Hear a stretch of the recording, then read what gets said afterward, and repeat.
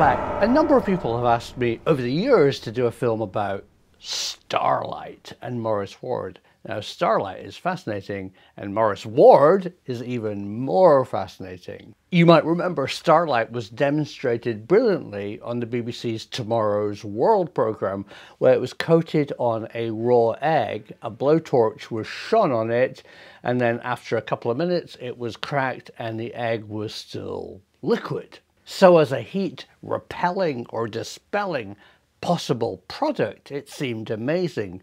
But what exactly happened to Starlite? Well, Maurice Ward, the inventor, just couldn't share it with anybody and couldn't do a financial deal with a company to turn it into a product. So it's remained this enigmatic mystery substance that's never really come to any good. And people have suggested a very obvious and life saving use to protect the inside of cladding on buildings. And possibly, if it had been adopted, it would have stopped this and saved so many lives.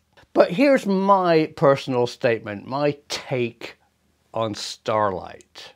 I think it's brilliant, but I think it has a major flaw.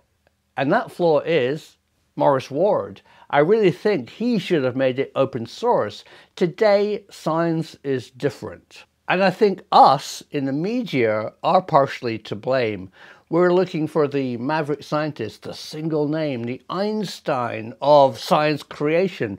Whereas today, it's not like that. A great example is if you look at CERN, where so many new stuff is emerging, it's teams of people, collections of specialists who all contribute to a bigger picture, not the single inventor. Starlite might just have changed the world and become a household product, and also be improved by being open source for other inventors to look at, market, do legal stuff with, and put it in a can in your high street.